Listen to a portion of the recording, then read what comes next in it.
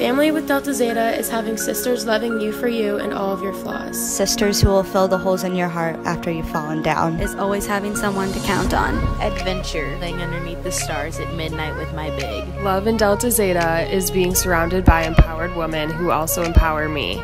Service. Volunteering at the Painted Turtle Camp with sisters from around the nation. Lending a helping hand to someone in need. Home with Delta Zeta is having sisters to count on to create a home away from home. Home is where the heart is, and my Delta Zeta sisters have my heart. I'm no longer broken hearted. So glad I came here tonight.